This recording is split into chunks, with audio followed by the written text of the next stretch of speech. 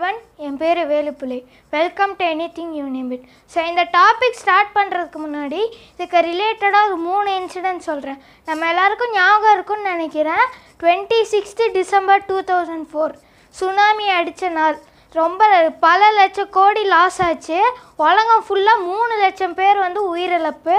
என்னால் நிறைய லாஸ் ஆச்சு. இந்த தமிழ்நாடு இந்தோனேஷியா ஸ்ரீலங்கா இந்த மாதிரி நாடுகளெல்லாம் அடிச்சுது.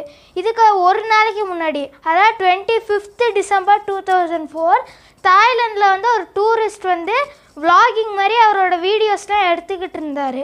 அப்போ வந்து அவர் ரொம்ப அன்யூஷுவலாக ஒன்று நோட்டீஸ் பண்ணியிருக்காரு. அது என்னன்னா ஸ்குரில்ஸு பக்கத்தில் உள்ள அனிமல்ஸ் எல்லாமே ரொம்ப அன்யூஷுவலாக பிஹேவ் பண்ண ஆரம்பிச்சுது. அதாவது ரொம்ப ரெஸ்ட்லெஸ்ஸாக இருந்துச்சு. அங்கேயும் இங்கேயும் ஓடிக்கிட்டே இருந்துச்சு. இந்த ரொம்ப அக்ரெசிவாக மாறிடுச்சு. அதுக்கு அடுத்த நாள் twenty six December two thousand four என்னாச்சுன்னா இந்த கோஸ்டல் ஏரியாஸை சுற்றி பார்க்க நம்ம ஊரில் ஹார்ஸ் ரைடு மாதிரி அங்கே எலிஃபெண்ட் ரைடு வச்சுருந்தாங்க.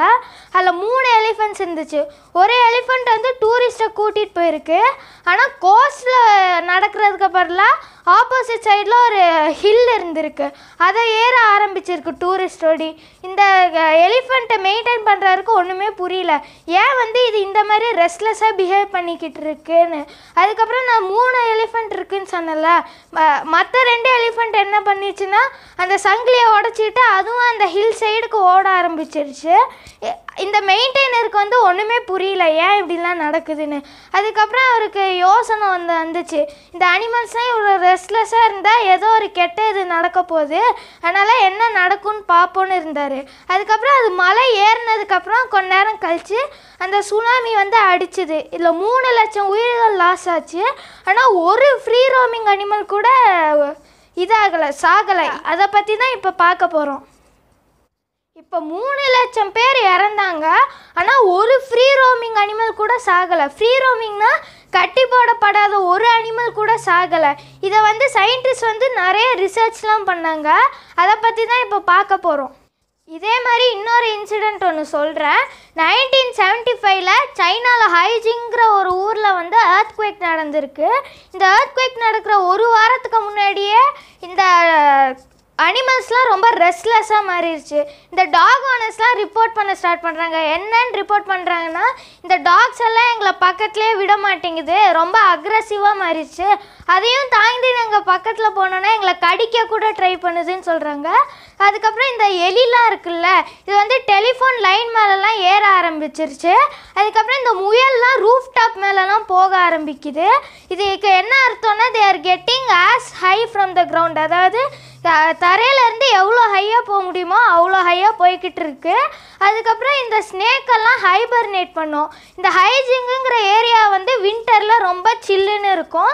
இதனால நிறைய அனிமல்ஸ் எல்லாம் சர்வை பண்ண முடியாது. அதனால் இந்த ஸ்னேக்ஸ்லாம் ஹைபர்னேட் பண்ணும். ஹைபர்னேட் பண்ணுறதுனா ஒன்றும் இல்லை இந்த வின்டர் ஃபுல்லாக தூங்கும். இப்படி ஹைபர்னேட் பண்ணுற பாம்பு கூட திடீர்னு எந்திரிச்சு டவுனுக்குள்ளே நிறைய வர ஆரம்பிச்சிருக்கு. இதை பார்த்து சைனீஸ் கவர்மெண்ட் வந்து என்ன நினச்சிருக்காங்கன்னா இந்த அனிமல்ஸ்லாம் ரொம்ப ரெஸ்ட்லெஸ்ஸாக இருக்குது இதுக்கு ஒரே அர்த்தம் என்னென்னா ஏதோ பெருசாக ஒன்று நடக்க போகுது.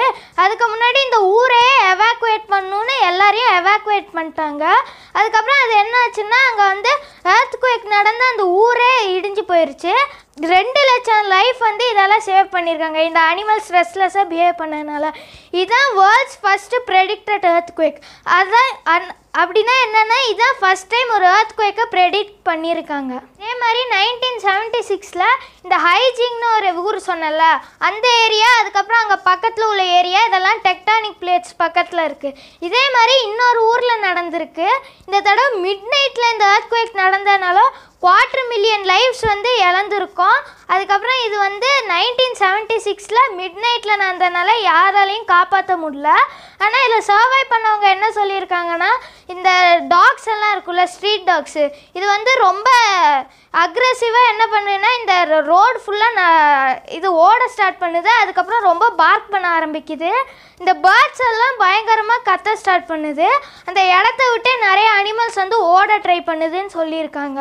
இதுலேருந்து நமக்கு என்ன தெரியுதுன்னா அனிமல்ஸ் எல்லாம் இந்த அர்த் குவேக் சுனாமிஸ் இதெல்லாம் வரதுக்கு முன்னாடியே ப்ரெடிக்ட் பண்ண முடியும்னு சொல்கிறாங்க இப்போ நம்மளுக்கு வந்து சிக்ஸ்த்து சென்ஸ் இருக்குதுன்னு சொல்கிறோம்ல அது அதை மாதிரி அந்த அனிமல்ஸ்க்கெல்லாம் ஜியோஃபிசிக்கல் சென்ஸ்னு ஒன்று இருக்குது அதாவது ஏர்த்லேருந்து ஒரு எலக்ட்ரோ மேக்னெட்டிக் ரேடியேஷனை அதால் சென்ஸ் பண்ண முடியும்னு சொல்கிறாங்க இது நிறைய சயின்டிஸ்ட் சொல்கிறாங்க இந்த எலக்ட்ரோ மேக்னெட்டிக் ரேடியேஷன் எப்படி வருதுன்னா நிறைய சயின்டிஸ்ட் என்ன சொல்கிறாங்கன்னா இந்த earthquake நடக்கும்போது இந்த டெக்டானிக் பிளேட்ஸ் பயங்கரமாக அடிக்கும்போது இந்த ராக்ஸ்க்கு ராக்ஸ்லேருந்து தான் எலக்ட்ரோ மேக்னெட்டிக் ரேடியேஷன் வருதுன்னு சொல்கிறாங்க இதை வந்து ப்ரூவ் பண்ண ஒரு ஜெர்மன் சயின்டிஸ்ட் நாசாவில் ஒர்க் பண்ணிக்கிட்டு இருக்காரு. அவர் இந்த தியரியை ப்ரூவ் பண்ணி காமிச்சிருக்காரு. என்ன பண்ணியிருக்காருன்னா ஒரு கல்லை எடுத்திருக்காரு. அதை வந்து ஹைட்ராலிக் ப்ரெஷர்னு ஒன்று சொல்லுவோம்ல அதை அந்த ரெண்டு சைட்லேருந்து அமுக்குவாங்க. அதை மாதிரி ஒரு இன்சுலேட்டர் போட்டு அந்த கல்லை வந்து வச்சுருக்காங்க.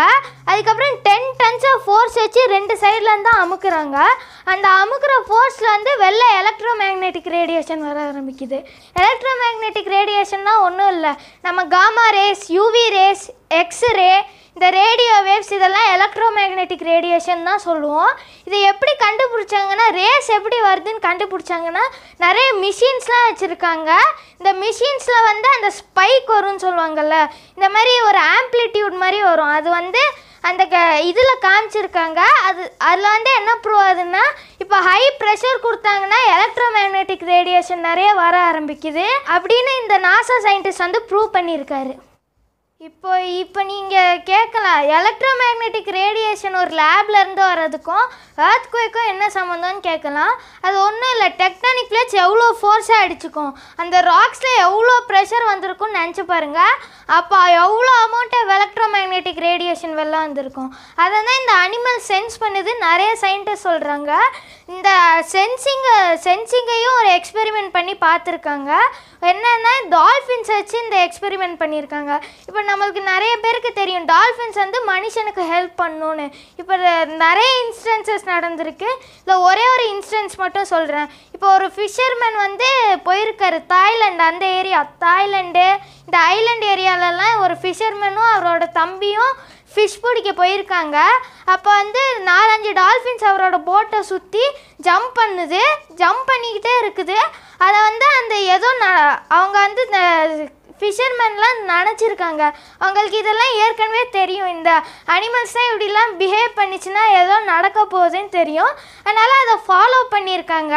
இந்த ஃபிஷர்மேன்லாம் டீப் சீக்கு போயிட்டாங்க. டீப் சீலேருந்து திரும்ப வரும்போது என்னாச்சுன்னா அவங்க ஊரில் வந்து சுனாமி வந்து அடிச்சிருக்கு. இவங்க ரெண்டு பேரும் தப்பிச்சிருக்க ஒரே காரணம் என்னென்னா டால்ஃபின்ஸ் தான். இந்த டிய தியரியை ப்ரூவ் பண்ண வந்து டால்ஃபின்ஸ் வச்சு ஒரு எக்ஸ்பெரிமெண்ட் பண்ணியிருக்காங்க. அது ஒன்றும் இல்லை இந்த ட்ரெயினர்ஸ் இருப்பாங்களா டால்ஃபின்ஸு இதோடய கொஞ்ச நேரம் ட்ரெயினர்ஸ் வந்து விளையாண்டுருக்காங்க. அப்போ நார்மலாக வந்து ஒரு நார்மல் பிஹேவியர் காமிச்சிருக்கு. இதே வந்து சயின்டிஸ்ட் வந்து என்ன பண்ணியிருக்காங்கன்னா ஒரு ராடில் வந்து ரெண்டு ஒயரை கனெக்ட் பண்ணி அதை தண்ணிக்குள்ளே போட்டிருக்காங்க. அந்த ராடில் கரண்ட்டு ஃப்ளோ பண்ண விட்டுருக்காங்க. நிறைய கரண்ட்லாம் இல்லை ஒரு நாலஞ்சு பேட்ரி வச்சு கரண்ட்டை ஃப்ளோ பண்ண விட்டுருக்காங்க. இப்போ வந்து நார்மலாக விளையாண்டுக்கிட்டு இருந்த டால்ஃபின்ஸ் வந்து தண்ணியில் எலக்ட்ரோ மேக்னெட்டிக் ரேடியேஷன் பட்டதும் என்னதுன்னா அந்த ராடில் வந்து எலக்ட்ரோ மேக்னெட்டிக் ரேடியேஷன் வெளில வர ஆரம்பிக்குது. அது வர ஆரம்பிச்ச உடனே என்ன ஆகுதுன்னா நார்மலாக இருந்த டால்ஃபின் வந்து ரொம்ப தூரம் அந்த ட்ரெயினர்ஸு அந்த ராடை விட்டு ரொம்ப தூரம் போக ஆரம்பிச்சிருச்சு. இப்போ வந்து டென் மீட்டர் ஸ்விம்மிங் பூல் இருந்துச்சுன்னு வச்சுக்கோங்களேன்.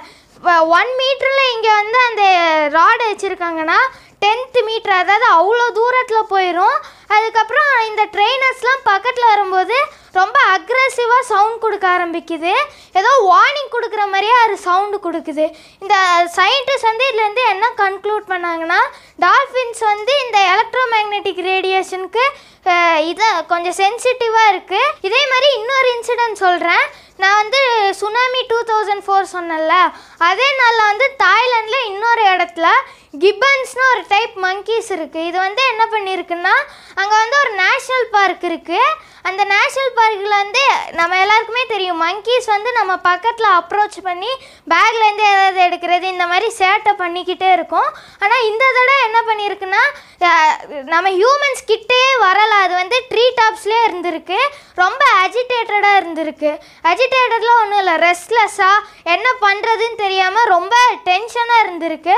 அதுக்கப்புறம் இது என்ன பண்ணிச்சுன்னா ஒரு வாரத்துக்கு முன்னாடியே நேஷ்னல் பார்க்லேருந்து ரொம்ப தள்ளி எங்கேயோ போயிடுச்சு அதுக்கப்புறம் ஒரு வாரத்துக்கு அப்புறம் இந்த சுனாமி அடித்ததுக்கப்புறம் இந்த கிபான்ஸ்லாம் திரும்ப வரும்னு பார்த்தா ஒரு மூணு நாலு வாரம் கழிச்சு தான் வந்திருக்கு. எப்போ சேஃப்னு தெரிஞ்சதோ அப்போ தான் திரும்ப வர ஆரம்பிச்சிருக்கு.